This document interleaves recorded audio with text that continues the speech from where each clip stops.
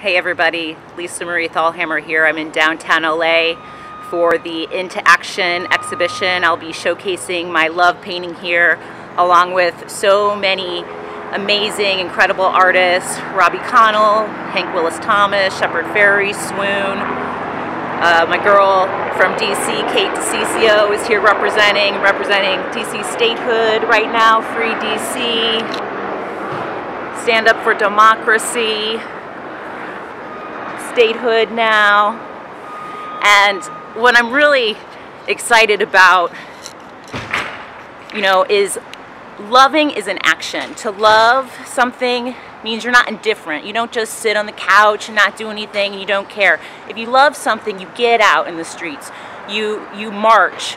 You you make phone calls, you write letters, you do the things that show that you love, that show that you really care and just loving is just such a great message because when we love something, we take action and we do stuff and we do things.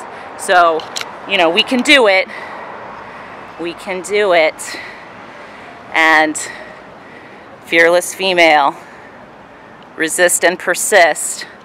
It's uh, one year since the epic march on Washington where I showed my parachute with the task force. So I'm pretty excited to be back out here again. Thank you, Yosi. Thank you, Victor. I'm really excited, hey, really excited to be here and uh, to be here in downtown LA getting this message out that loving is an action. So don't forget it. When you love something, you do something about it and you get into action. So, you know, I hope to see you all here. Show opens this Friday and I'm looking forward to to seeing you all and uh, to to just loving more and to just uh, promoting love. So take care y'all. Don't forget to love each other.